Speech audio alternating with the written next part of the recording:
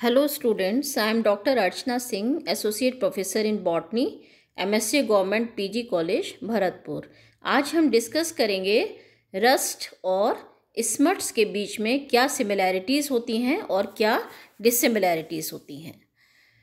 तो सबसे पहले हम बात करते हैं similarities between rust and smuts rust और स्मट के बीच में क्या समानताएँ हैं। The mycelium in both passes through two stages, the monokaryotic stage and the dikaryotic stage दो स्टेज होती हैं। माइसीलियम दो स्टेजों से पास होता है। पहली स्टेज जो प्राइमरी स्टेज कहलाती है वो मोनोकैरियोटिक यानी एक केंद्रकीय अवस्था। मोनोकैरियोटिक मीन्स एक केंद्रकीय अवस्था and the dikaryotic secondary stage होती है जिसमें दो केंद्रक होते हैं। द्विकेंद्रकीय अवस्था।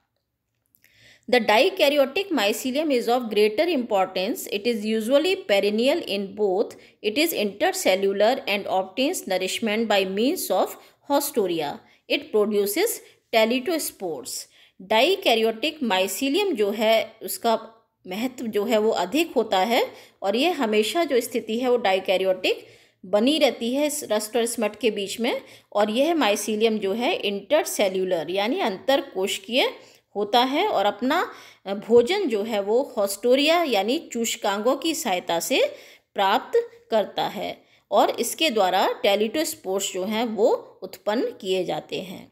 Motile cells in the life cycle of both smuts and rust are lacking. किसी भी प्रकार के चलन कोशिकाएँ रस्ट और स्मट में नहीं पाई जाती हैं। The teletospores in both are resting spores and on germination produce basidiospores. Astilagotriticide is the only exception. जो टेलिटोस्पोर्स हैं वो एक विश्राम अवस्था वाले स्पोर्स होते हैं जिनको हम रेस्टिंग स्पोर्स कहते हैं और जर्मिनेशन करने पर यह टेलिटोस्पोर्स बेसिडियो स्पोर्स उत्पन्न करते हैं केवल अस्टिलेगोटिटिसाई में ये अवस्था नहीं आती है। The tertiary mycelium and basidiocarps are lacking in both. तृतीयक माइसीलियम और बेसिडियो कार्ब जो है उसका इनमें अभाव होता है। The dolipore parenthesome septal complex which is a hallmark of the basidiomycetes is absent in both the rust and smut dolipore parenthosome जो है, पाया जाता है, बेसिडियोमाइसिटीज़ का एक महत्वपूर्ण हॉलमार्क है, वो इन दोनों रस्ट और स्मट में अनुपस्थित होता है। In nature both appear to be obligate in their parasitism but recently the scientist have been able to grow both on culture media as facultative saprophytes. ये दोनों कैसे हैं? ऑब्लिगेट, यानी अविकल्पी। अविकल्पी परजीवी, यानी जिसका कोई अन्य विकल्प ना हो। तो अविकल्पी परजीवी होते हैं, लेकिन साइंटिस्ट ने इनको कल्चर मीडिया पर एज ए फैकल्टेटिव सेप्रोफाइट की तरह ग्रो करने में सफलता प्राप्त की है। अब हम आते हैं dissimilarities between rust and smuts क्या क्या असमानताएँ हैं रस्ट और स्मट के बीच में? Wheat rust are heteroecious and others are autoecious. Wheat, rust जो होती है, गेहूँ का जो किट रोग है, इसमें गेहूँ किट जो है वो हेट्रोशियस यानी कई प्रकार के स्पोर्ट्स जो है वो इसके अंदर पाए जाते हैं और बाकी जो रस्ट होती हैं वो ऑटोशियस होती हैं।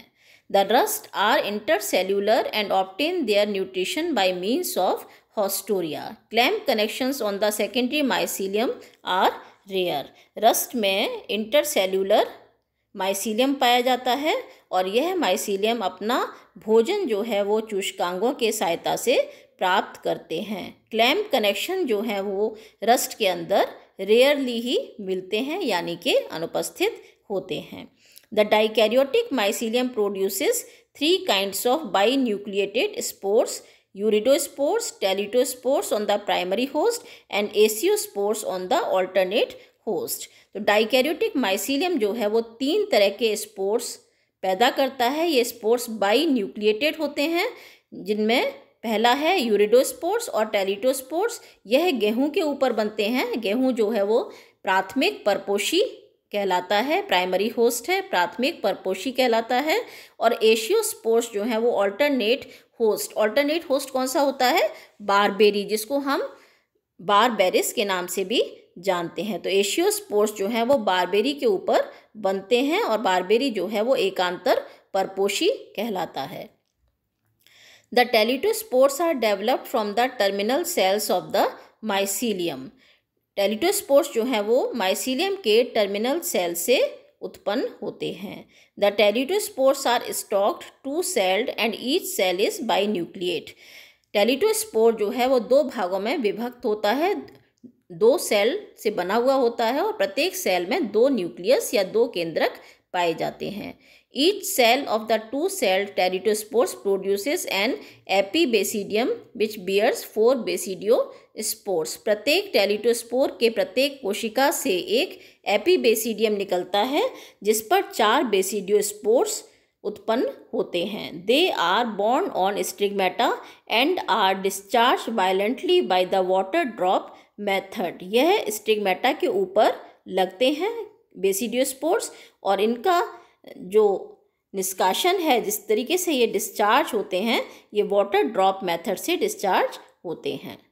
अब हम आते हैं स्मर्ट्स के ऊपर। Smuts are autoecious. रस्ट थे हेट्रोशियस, लेकिन स्मर्ट्स कैसे हैं? ऑटोशियस, है ना? समांगी। द स्मर्ट्स में बी इंटरसेल्यूलर और इंट्रासेल्यूलर। स्मर्ट्स जो हैं वो अंतर कोशिकीय और अंतरा कोशिकीय दोनों प्रकार के होते हैं। हॉस्टोरिया इसमें उपस्थित होते हैं। Clamp connections are common. Clamp connections जो हैं वो स्मर्ट के अंदर पाए जाते हैं। It produces only one kind of binucleate spores called the smut spores, which are comparable to the teliospores of the rust. इसमें एक ही प्रकार के स्पोर्ट्स बनते हैं, जो बाई न्यूक्लियट हैं, और यह स्पोर्ट्स स्मर्ट स्पोर्ट्स कहलाते हैं। इनका, इनको हम टेलीटोस्पोर्ट्स जो रस्ट के टेलीटोस्पोर्ट्स हैं, उनसे कंपेयर कर सकते हैं। Smut spores are form from the intercalary cells. Intercalary cells से स्मर्ट स्पोर्ट्स का, की उत्पत्ति होती है। The brand spores teliospores are unicellular and binucleate teliospores जो हैं, वो यूनिसेल्यूलर होते हैं और बाई न्यूक्लिएट होते हैं।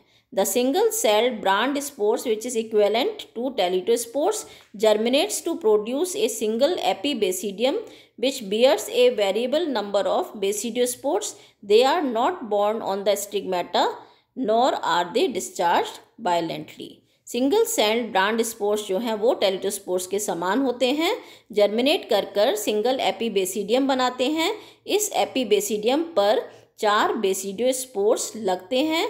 यह बेसिडियो स्पोर्स किस पर लगते हैं? स्टिगमेटा के ऊपर लगते हैं और इनका डिस्चार्ज जो है वो एकदम से वायलेंटली होता है। इसके साथ ही यह वीडियो समाप्त होता है। Thank you